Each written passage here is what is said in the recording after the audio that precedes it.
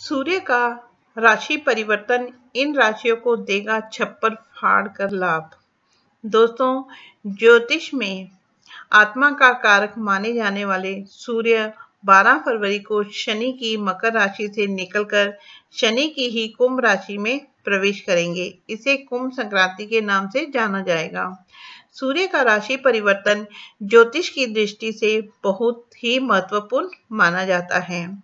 सूर्य पूरे साल में सभी बारह राशियों का गोचर करते हैं और एक राशि में एक महीना रहते हैं।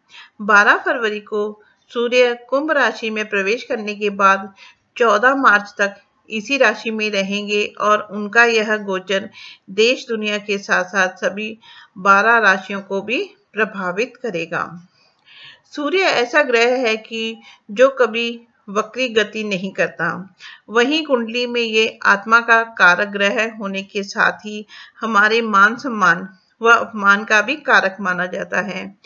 जिस व्यक्ति की कुंडली में सूर्य मज़बूत स्थिति में होता है उसे सम, समाज में मान सम्मान मिलता है। सूर्य जीवन में उच्च पद मान सम्मान पुरस्कार और लोकप्रियता के लोकप्रियता के भी कारक माने गए हैं। सूर्य को पिता माना गया है।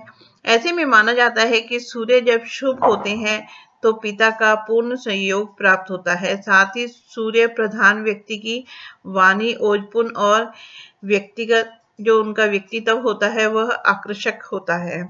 ऐसे लोग मान सम्मान के साथ किसी प्रकार का कोई समझौता करना पसंद नहीं करते हैं। 12 फरवरी को सूर्य कुंभ राशि में गोचर करने जा रहे हैं। तो सूर्य का राशि परिवर्तन 12 राशियों पर असर डालेगा। कुछ राशियों को तो छप्पर फाड़ कर लाभ प्राप्त होगा। दोस्तों, मेष राशि के जातकों के लिए सूर्य का राशि परिवर्तन खुशखबरी लेकर आ रहा है।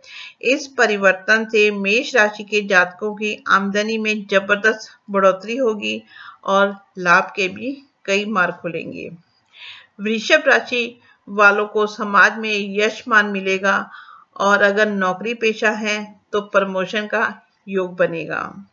मिथुन राशि वालों का आत्मविश्वास बढ़ेगा और अधूरे पड़े कार्य पूरे होंगे। कार्य क्षेत्र में आपका प्रभाव भी बढ़ेगा। कर्क राशि वालों को अपने पिता की सेहत का खास ख्याल रखना होगा और कार्य क्षेत्र में वाद विवाद से बचना होगा। सिंह राशि वालों के लिए सूर्य का राशि परिवर्तन छप्पर फाड़ कर लाभ देगा। स्वास्थ्य भी बढ़िया रहेगा और अच्छी खबरें मिलेगी, जिससे मन प्रसन्न रहेगा। कन्या राशि वालों को कोर्ट कचहरी के मामलों में तो सफलता मिलेगी, लेकिन सेहत का ख्याल रखना होगा। उतावलापन दिखाने से बचना होगा। तुला राशि वालों के निजी संबंधों में सूर्य का यह गोचर थोड़ी असुविधाजनक स्थिति दे सकता है, लेकिन प्रमोशन का योग भी बनाएगा और कार्य क्षेत्र में वृद्धि होगी। वृक्षिक राशि वालों को भी इन्वेस्टमेंट से बचना होगा, लेकिन यह धन वृद्धि का समय हो सकता है। जो मेहनत अभी तक की थी, उसका उचित फल मिलेगा और धन संचित करने में आप सफल होंगे। धनु राशि वालों को हर स्थान पर मान सम्मान की प्राप्ति होगी लोकप्रियता में वृद्धि होगी, लोग आपकी बातों को गंभीरता से सुनेंगे। मकर राशि वालों के लिए सूर्य का गोचर अधिक अनुकूल देने वाला नहीं माना गया है। ऐसी स्थिति में आपको इस गोचर में, इस गोचर के मिश्रित परिणाम होंगे। स्वास्थ्य संबंधित परेशानियाँ आपको कष्ट देगी। इस गोचर के परिणाम स्वरूप आपकी आमदनी में भी गिरावट देखने के, को मिल सकती है। लेकिन संतान पक्ष के लिए ये गोचर अच्छा रहेगा। कुंभ राशि के जातकों के व्यक्तित्व में कई तरह के बदलाव देखने को मिलेंगे। आत्मविश्वास में वृद्धि होगी। कुंभ राशि के जातक इस समय अपनी सेहत का खास ख्याल रखें। मीन राशि वालों के लिए अच्छी खबर है।